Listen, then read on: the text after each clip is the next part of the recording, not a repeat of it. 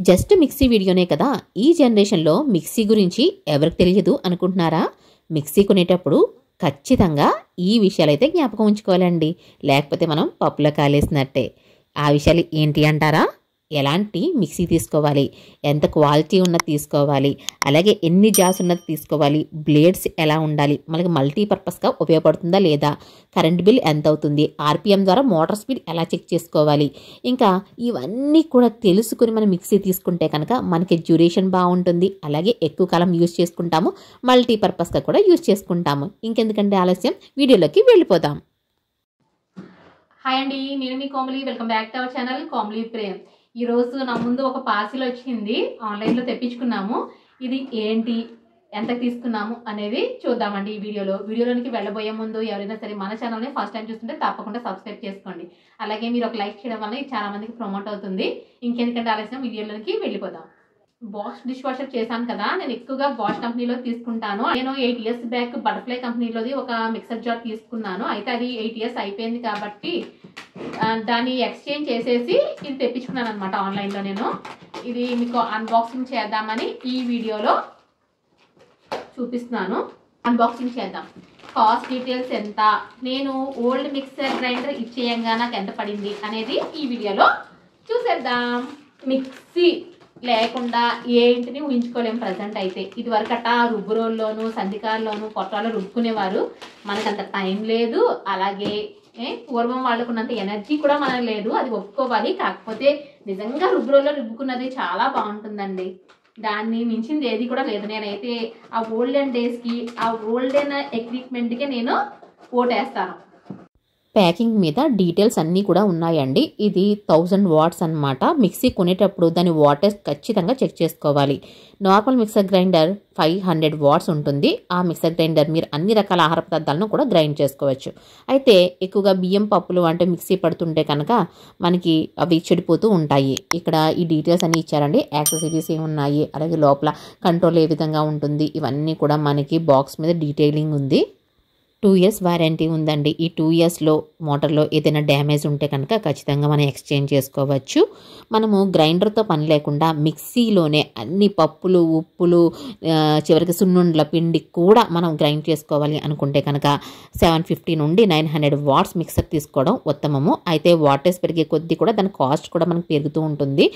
Packing మీద cost ten thousand five hundred rupees. ఇంకా order చేసే టైంకి విత్ డిస్కౌంట్ మాకు six thousand eight hundred rupees అండి. ఎయిట్ ఇయర్స్ వాడిన బటర్ఫ్లై మిక్సర్ ఇచ్చేసాం కదా దానికి టూ థౌజండ్ రూపీస్ తగ్గించారనమాట టోటల్గా మాకు four thousand eight hundred rupees పడింది ఇది. Bosch company. బాష్ కంపెనీలోనూ ఈజీ ప్రోగ్రామింగ్ ఉంటుంది. అలాగే వారంటీ కూడా బాగుంటుంది. ఎక్కువ డ్యూరబిలిటీ ఉంటుంది. ఎక్కువ రోజులుగా మనకు ఉంటుందండి. అందుకని చెప్పేసి నేను ఈ కంపెనీని ప్రిఫర్ చేస్తాను. అలానే బటర్ఫ్లై కూడా ఇదివరకు తీసుకున్నప్పుడు కూడా అది ఎయిట్ ఇయర్స్ ఎటువంటి కంప్లైంట్స్ లేకుండా వచ్చింది నా దగ్గర. నార్మల్గా మల్టీ జార్ తీసుకుంటారు కానీ మనకి ఫోర్ జార్స్ ఉంటే చాలండి. ఓపెన్ చేసేస్తున్నాం.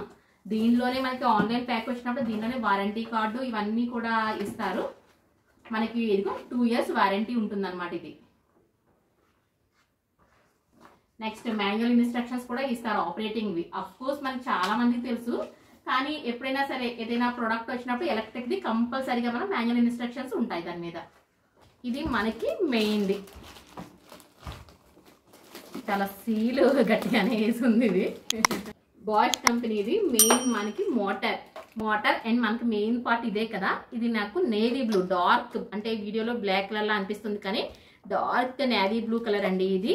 అంటే blackish and dark navy blue shade వస్తుంది. చాలా బ్యూటిఫుల్గా అనిపించింది. నాకైతే బరువు కూడా బాగానే ఉంది. మిక్సర్లో ఎక్కువ జార్స్ ఉంటే సౌకర్యవంతంగా ఉంటుంది అనుకుంటాము. కానీ నార్మల్గా మనకి త్రీ టు ఫోర్ జార్స్ అయితే ఖచ్చితంగా ఉండాలి. ఇక్కడ దీనికి ఫోర్ జార్స్ ఇచ్చారు. చూద్దాం అవి ఏంటో. జార్స్ వచ్చేసరికి ఇలా ఉన్నాయి. ఇది మనకి స్మాల్ జార్ ఈ క్లిప్స్ చూడండి. క్లిప్స్ ఉన్నాయి ప్రతి దానికి కూడా. అంటే మనం జనరల్గా ఏంటి మిక్సీ పట్టిన తర్వాత ఇలా పైన ప్రెస్ చేసి పట్టుకుంటాం కదా. అలా మిక్సీ ఆపరేట్ చేసినంతసేపు కూడా ఇలా ప్రెస్ చేసి పట్టుకుంటాము. గ్రైండ్ చేస్తున్నప్పుడు ఏంటంటే ఇది ఈ క్లిప్స్ మనము ఇలా ప్రెస్ చేసుకోవడం వల్ల ఏంటంటే లోపల పిండి మనకి వదిలేసినా సరే చేపెట్టనవసరం లేదు. చక్కగా బయటికి పోకుండా ఉంటుంది. మిక్సీలో మెయిన్ పార్ట్ ఎంత ఇంపార్టెంటో మిక్సీ జార్స్ కూడా అంతే ఇంపార్టెంట్ అండి. జార్స్ క్వాలిటీని కూడా మనం టెస్ట్ చేసుకోవాలి. అలాగే జార్స్ హ్యాండిల్స్ ఫ్లెక్సిబుల్గా ఉండేలాగా చూసుకోవాలి. జార్ మూత టైట్గా ఉందో లేదో కూడా మనం చెక్ చేసుకోవాలి. ఇంకా క్యాప్స్ ఉంటే కనుక మనము మల్టీ టాస్కింగ్లా ఉంటుంది కదా పొద్దున్నే క్యారేజీలు పెడుతూ ఉంటాం పిల్లలకి హస్బెండ్కి కూడాను. సో మనము అప్పుడే పోపు పెడతాము అప్పుడే అన్నం పెడతాము. ఈ లోపల మనము ఎలా పట్టుకుని ఉండకుండా చక్కగా క్యాప్స్ ఉంటే అలా మిక్సీలో పెట్టేసి మన ఫుడ్ మెటీరియల్ వేసేసి చక్కగా అది వదిలేస్తే హ్యాపీగా ఇలా చూసారా? పేస్ట్ అయిపోయింది చట్నీ రెడీ అయిపోయింది ఈ లోపల. టిఫిన్ చేసేస్తున్నాను. ఇలా మల్టీ టాస్కింగ్లో ఉండాలంటే కనుక మనం ప్రతిదీ కూడా పర్టిక్యులర్గా ఉండాలండి.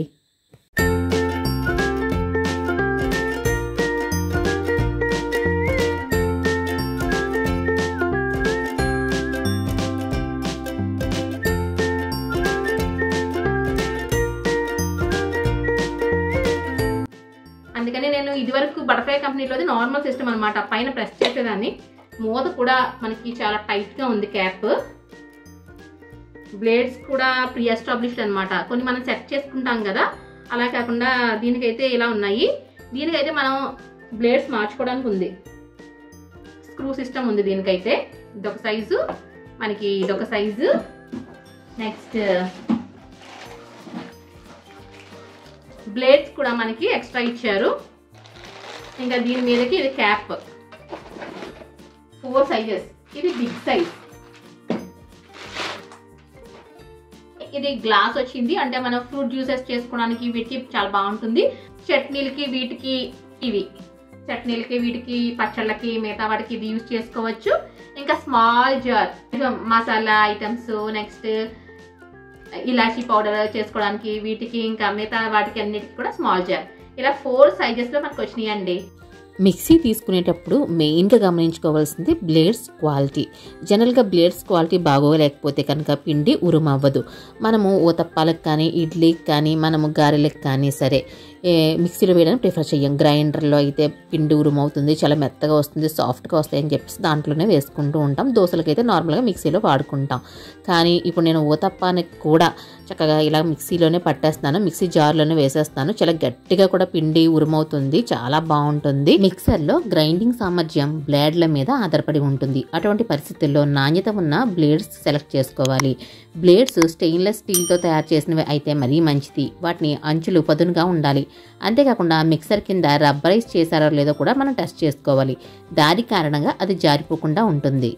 మిక్సీ కిచెన్లో ఎక్కువ ప్లేస్ ఆక్యుపై చేయకుండా కొంచెం పోర్టబుల్గా ఉండేది సెలెక్ట్ చేసుకోవాలి.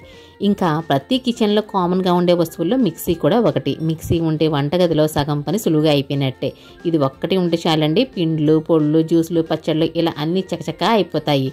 ఇంకెందుకండి ఆలస్యం? ఈ వీడియో మీకు నచ్చినట్లయితే కనుక తప్పకుండా లైక్ చేయండి. అలాగే మంచి ఇంట్రెస్టింగ్ వీడియోతో మళ్ళీ కలుద్దాము. Thank you so much.